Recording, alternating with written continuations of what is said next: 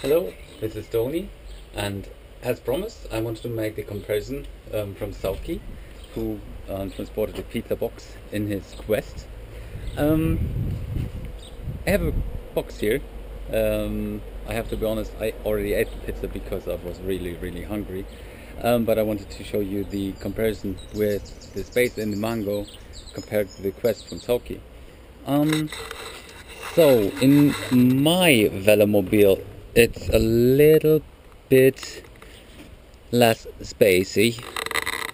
So we only have uh, the left and the right compartment um, where you could store this one. Or maybe maybe nah. So can I stuff it here? No so it's no does not fit. Um yeah. The the only possibility I see here would be behind the back.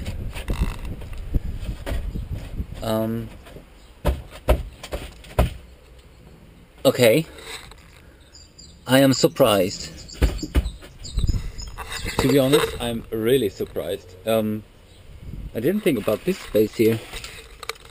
So there's at least space for one pizza behind the bag. It's a little bit dent at the edges.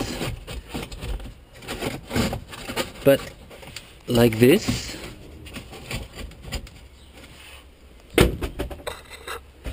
It does fit. Okay. Um, yeah. So much um, for this problem. So um, I'm surprised. Um, it's a, it's a, another space than in the Quest, but one 30 by 30 uh, centimeter pizza fits in the Mango as well. Um, this for this part, and the uh, second um, part of this video is a, is a very sad one because um, I didn't want uh, I did want to inform you guys uh, which um, let uh, left an ab abandonment of my channel here. Um, we lost one of our own today or uh, yesterday. Um, one velomobile, velomobile driver in um, middle Germany was killed by a car. So um, yeah I just want you all to remember drive carefully um, drive defensively and drive safe. So it's the grass is very high um, and people are not that uh, attentive at the moment. So stay safe so that you can ride on tomorrow as well. Have a nice day and take care of yourself. Bye bye